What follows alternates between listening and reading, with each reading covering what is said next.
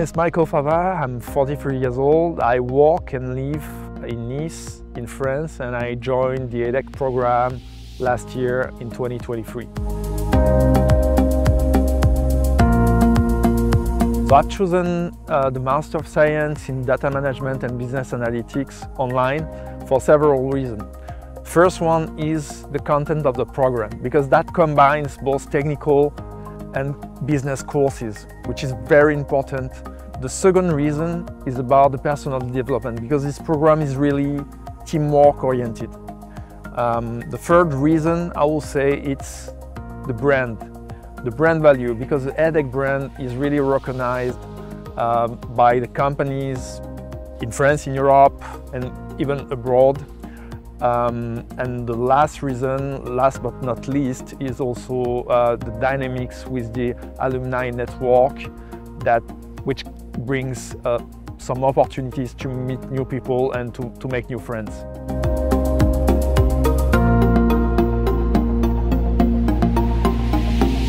To learn how to use Tableau and to make some accurate prediction, prescription, uh, and to handle uh, data sets.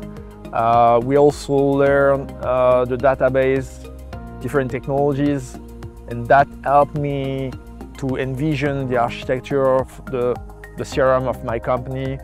And also um, we learned some machine learning techniques and that, that was really helpful uh, for me to figure out how to set up the right smart pricing uh, for the future.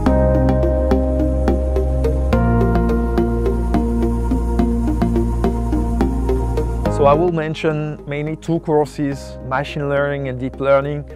Those two courses brought us the, the foundations of AI techniques. Um, and we, for example, we learned how to, to make prediction and prescription from a big data set how to make sentiment analysis um, from social intelligence, how to make image recognition. So various techniques all belonging to this AI world and that definitely enrich uh, our knowledge in this area um, to apply those techniques on other use cases regarding our mission.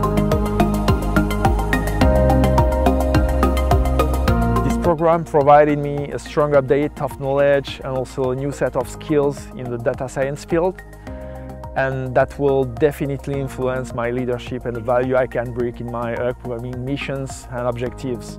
So as a long-term path for my career, I envision position mixing and combining data management, process improvements, business development and strategy.